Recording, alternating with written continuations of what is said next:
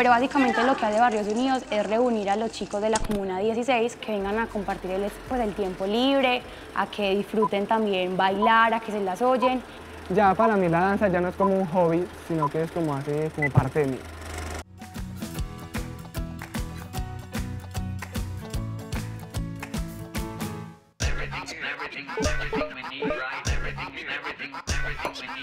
Hola, yo soy Jorman Márquez, soy personero de la institución educativa Gilberto Alzate Avendaño, donde estamos hoy. Eh, desde el año pasado, desde el 2017, yo fui contralor de la institución y ya este año pues fui elegido para ser el personero. Estaba haciendo varios trabajos con los chicos de acá, con ex candidatos que estuvieron y con todos los estudiantes de acá para hacer un trabajo bien articulado, algo que vaya enfocado a la institución y que tenga un buen impacto en ella. Yo soy un gran apasionado por la música, entonces aparte de esto yo me mantengo eh, estudiando pues música por una academia que queda por el sector del estadio, pero estoy próximo a graduarme y además de eso me mantengo o produciendo o conociendo esta ciudad. Yo siempre he dicho que es un paraíso. ¿Están grabando? Sí. Yo siempre he creído que una de las cosas que hace no las puede como hacer de manera muy aislada, sino que le dar como cierta unión, cierta coherencia a eso. Entonces, como por ejemplo ir con mis compañeros y irles ayudando con la parte de la música, que hay muchos pelados que son muy pilosos para la parte de la música, de las artes, todo. Entonces, muchos se me han acercado, me han preguntado muchas cosas así, les he enseñado mucho de eso. Y no solamente como irme enclaustrando en lo que yo sé y que solo sea mío, sino poder ir ampliando todo lo que sé con todos ellos y pues ir haciendo trabajos, ir haciendo muchos proyectos ahí con ellos.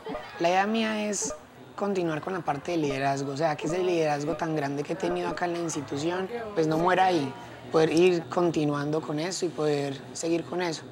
Además, lo que quiero es también con la parte de la educación superior, o sea, seguir estudiando y poder ser ya un profesional. Ya.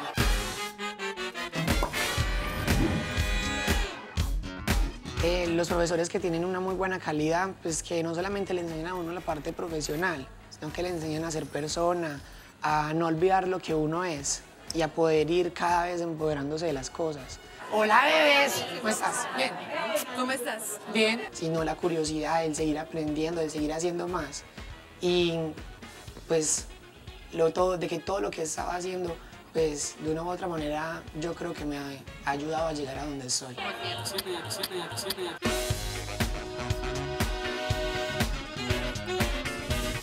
Pues yo desde primaria siempre estoy trabajando con todos. Es más, desde preescolar siempre he sido representante de grupo. Y en segundo, una vez en la que hubo un conflicto con una profesora y fue el rector.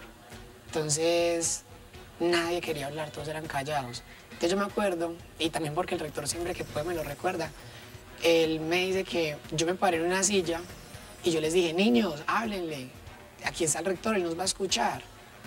Y pues desde ese momento ya todos eh, le comentaron todo lo que había y se pudo como cuadrar ese problema. Y desde ahí el rector me dijo, usted es un buen líder, usted va a trabajar por todos, usted ojalá sea mi personero. Con mis compañeros los ex candidatos, o sea, son un plan ahí alterno. Hemos hecho jornadas de recreación en la que los que la dirigen son los estudiantes de 11. Entonces ellos van, las coordinan con las diferentes sedes, ellos están pasando una tarde, un parte de la jornada con los chicos de primaria. Entonces es algo muy bonito porque tanto a los de 11 les encanta. O sea, el año pasado ellos llegaron muy contentos de allá y a los chicos les gusta mucho porque comparten con ellos, cambian como la rutina. Entonces fue algo muy bonito eso. También eh, he hecho un trabajo muy unido con todos los otros líderes, con los que no ganaron.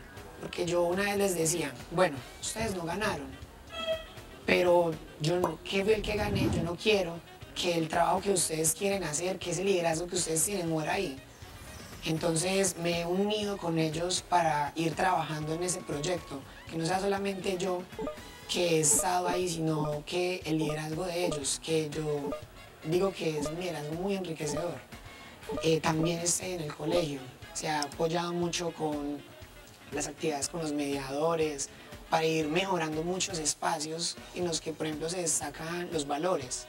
Entonces se hacen unas direcciones de grupo, de ahí unos encuentros de patio, unos actos cívicos.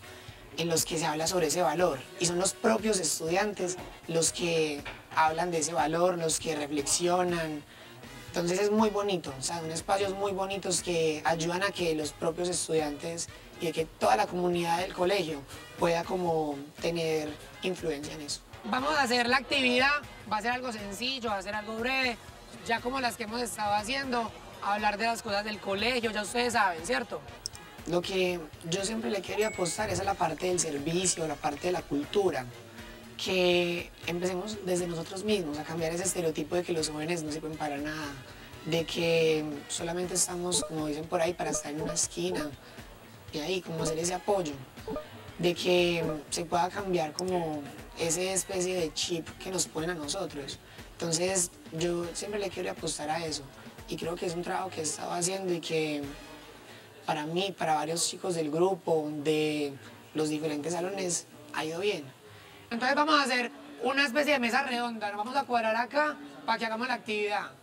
Y ahí es donde yo quiero que quede como un legado, que al momento en el que yo ya parta del colegio, por decirlo así, pues quede como esa huella, que no sea simplemente un personero y un contralor que estuvo y ya se fue, sino que se vea ese trabajo que estoy haciendo, que se vea que se se mejoró, por decirlo así, la parte de los valores, que las instituciones, las diferentes sedes de la institución están más unidas, que hay más sentido de pertenencia por el colegio y que se ha mejorado mucho el emblema que nosotros tenemos, que es que el alzate soy yo, sos vos, somos todos. Em, como ya hemos venido trabajando, eh, ustedes saben que la idea mía desde la parte de la personería y desde todo es como tener un trabajo más unido, ¿cierto? Que no sea yo solamente desde el cargo, sino que cada vez lo que vayamos haciendo sea mejor, ustedes todos influyamos ahí. Por ejemplo, a principio de este año hubo un problema a nivel de convivencia, entonces había una parte pues de peleas, era muy incómodo. Entonces empezamos a hacer un trabajo y se logró disminuir demasiado la parte de los conflictos acá en el colegio. O sea, se fortaleció la mediación, el diálogo, entonces ya se vio que ese umbral, por decirlo así, que se tenía a principio de año, de los problemas, de las peleas, de todo eso, bajó mucho. luego tú, Ana. ¿Me gustó todo? Chicos, muchas gracias. Acercan por favor a Juan Pablo, el secretario.